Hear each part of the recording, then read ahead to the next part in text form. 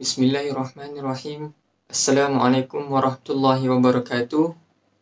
InsyaAllah kumpulan kami akan membentangkan tajuk Syafa'ah Syurutiha wa Anwa'iha. Ismi Muhammad Zakwan bin Muhammad Fauzi.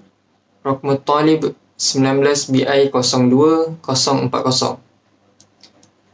Dalam video ini akan diterangkan uh, berkenaan tarif, syarat serta jenis syafa'ah. Bismillahirrahmanirrahim.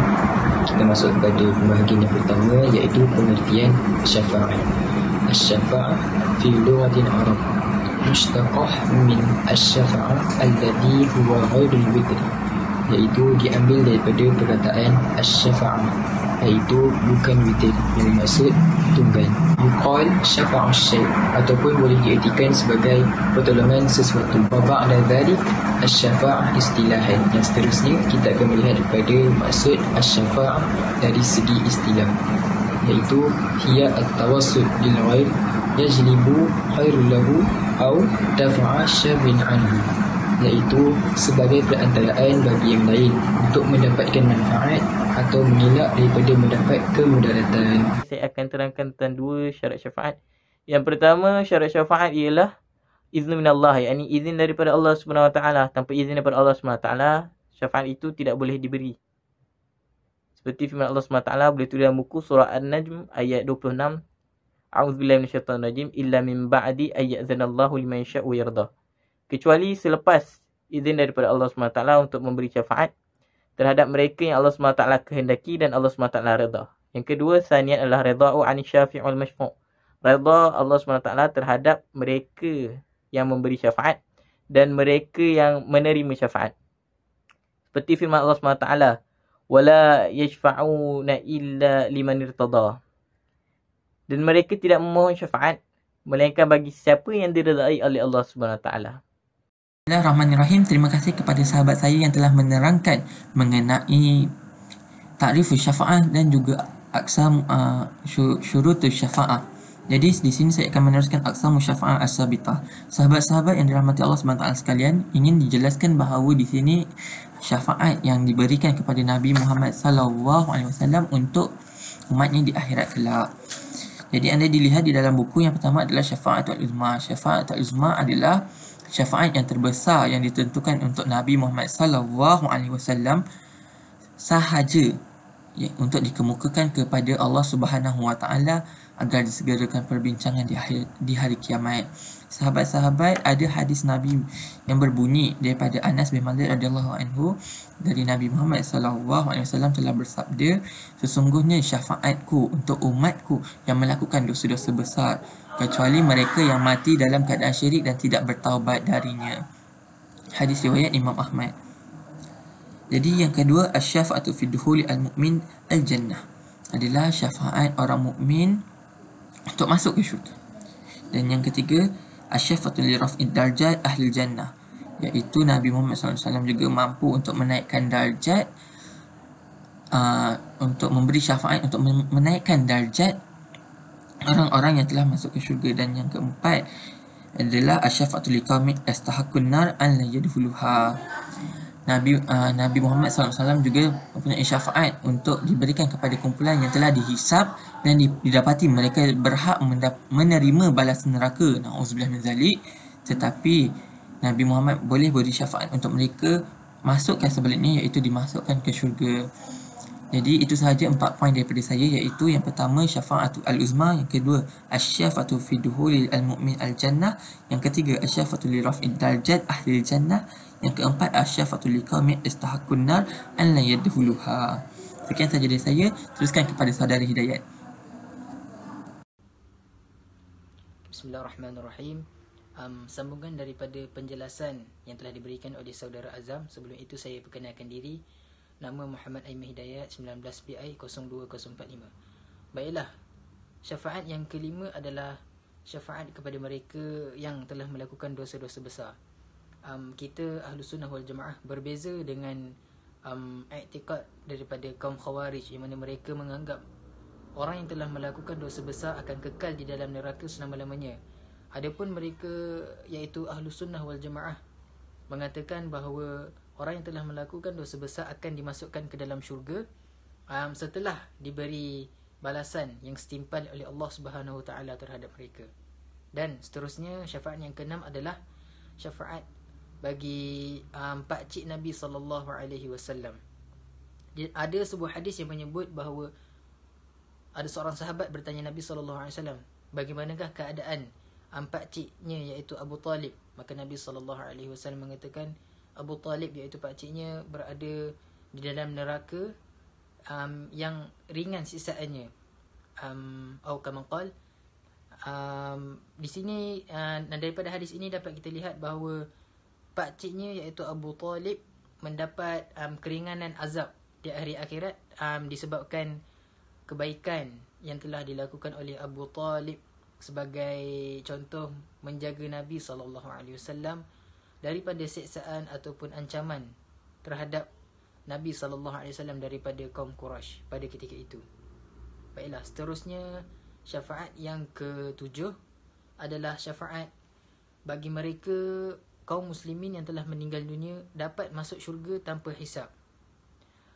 Terdapat hadis Nabi sallallahu alaihi wasallam yang menyebutkan bahawa akan masuk syurga tanpa hisap seramai 70 ribu orang um, daripada umat Nabi sallallahu alaihi wasallam um, disebabkan amalan-amalan tertentu yang saya kira um, kita semua boleh dapati melalui YouTube ataupun laman web yang um, berautoriti untuk kita baca insyaallah seterusnya yang terakhir iaitu yang ke-8 adalah syafaat bagi mereka yang meninggal dunia di Madinah ada hadis yang menyebutkan bahawa mereka yang meninggal di Madinah akan mendapat manfaat ataupun syafaat daripada kematian itu.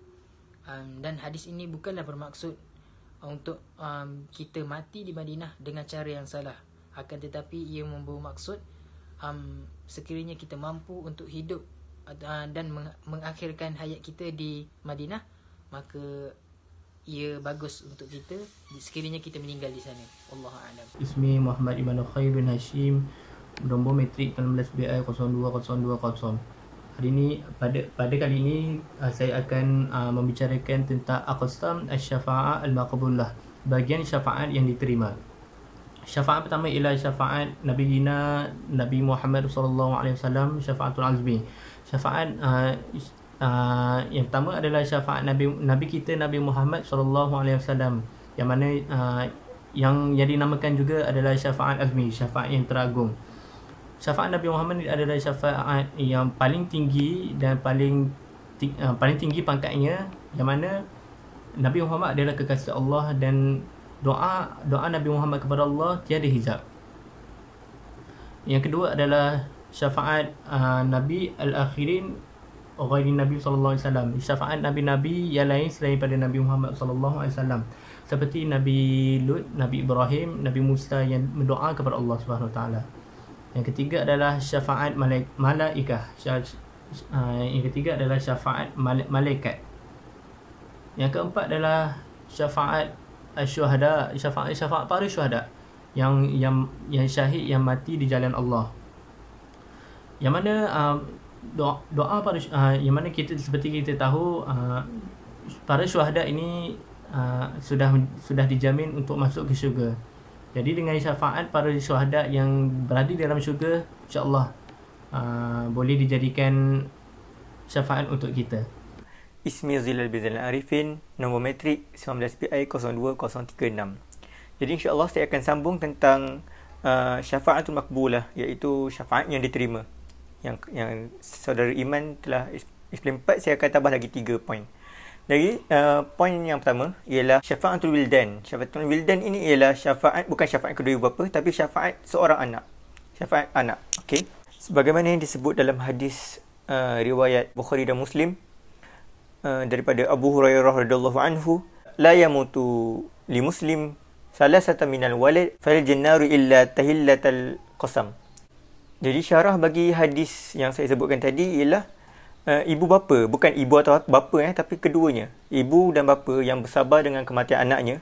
Bukan tiga dalam hadis ni sebut tiga, tapi ada yang uh, hadis riwayat lain ada mengatakan ada seorang wanita bertanya, tiga kalau dua macam mana? Kalau satu macam mana? Rasulullah cakap tetap tetap akan dapat syafaat ni juga. Jadi syafaatnya apa? Ya, eh, syafaatnya apa? Syafaatnya uh, ibu bapa yang bersabar dengan kematian anaknya akan dimasukkan ke dalam syurga melalui titian di atas api neraka. Maksudnya uh, titian tu tetap akan lalu tapi akan dipermudahkan Allah oleh Allah Subhanahu Wa Taala. Okey, jadi yang kedua, syafaat yang kedua ialah syafaatul mukminin ba'duhum li ba'd. Iaitu syafaat seorang mukmin yang soleh, seorang hamba Allah yang soleh kepada kawan-kawannya, pada sahabat-sahabatnya. Melalui satu kisah, ada seorang yang beriman kepada Allah Taala, hamba Allah yang soleh, masuk ke dalam syurga. Tapi beliau dapati tak ada kawan dia dalam syurga tu. Jadi tanya malaikat, malaikat mana kawan-kawan aku yang dekat syurga, dekat syurga tak aku tak nampak pun. Malaikat pun cakap, uh, malaikat berkata kawan-kawan dia ada dekat neraka.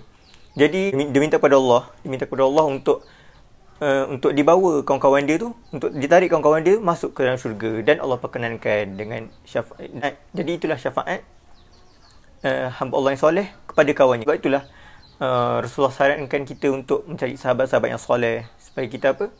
Supaya kita dapat syafaat daripadanya. Okey, jadi yang terakhir sekali syafaat Al-Quranul Karim. Sebagaimana dari hadis Rasulullah sallallahu alaihi wasallam Rasulullah SAW sabda, Iqra'ul Quran fa innahu ya'ti yawmal qiyamati syafi'an li ashabi. Uh, bacalah Al-Quran. Sungguhnya ia akan menjadi syafaat kepada yang membaca dan mentadaburnya. Maksudnya dia akan menjadi syafaat, jadi peneman kita di akhirat nanti insya-Allah. Alhamdulillah sebagai khulasah kita dapat memahami bahawa uh, syafaat merupakan kepunyaan Allah Taala. Tidak ada seorang pun yang dapat memberikan syafaat ataupun menerima syafaat melainkan dengan izinnya. Jadi antara perkara yang kita boleh amalkan sepanjang kehidupan seharian kita adalah sentiasa mengamalkan uh, pembacaan Al-Quran serta bersalawat ke atas junjungan baginda Nabi Muhammad sallallahu alaihi wasallam. Insya-Allah semoga kita semua beroleh syafaat di akhirat kelak. Assalamualaikum warahmatullahi wabarakatuh.